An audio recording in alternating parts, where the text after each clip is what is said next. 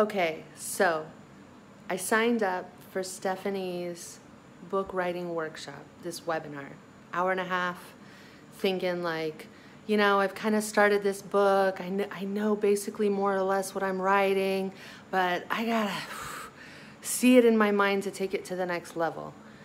I met her on Clubhouse. I started following her on social media. I was like, mm, let me take this little work workshop.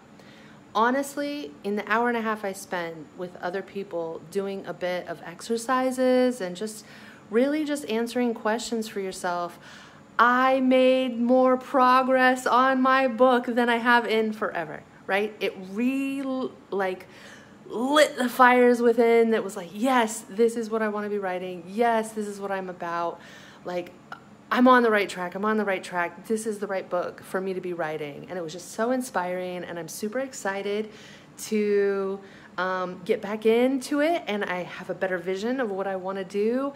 And I highly recommend this little workshop and probably whatever else Stephanie decides to do, just because her content is quality. She really helps me make a lot of progress in a short period of time.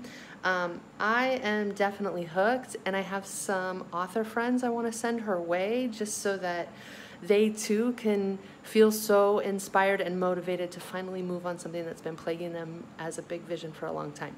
Thank you so much, Stephanie. I really appreciate it.